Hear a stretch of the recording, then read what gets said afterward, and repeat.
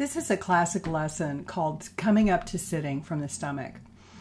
We start this lesson on our stomach with our feet in the air parallel to the ceiling. And then we start to take our feet towards the floor and feel the connection with the pelvis as it starts to roll.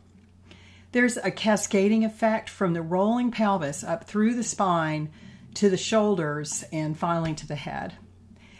This is that ever important connection between the pelvis and the shoulders that's responsible for upright walking.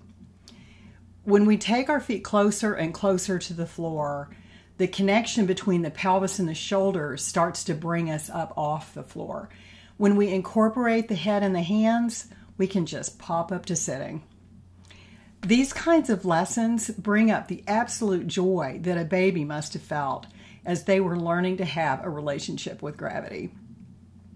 In order to move with grace, efficiency, and confidence, we must have a clear channel between our feet and our head. And in this lesson, we're opening up the connection from the feet to the pelvis and the shoulders and the For more information about my classes, visit integratedselfeugene.com slash classes. Be well.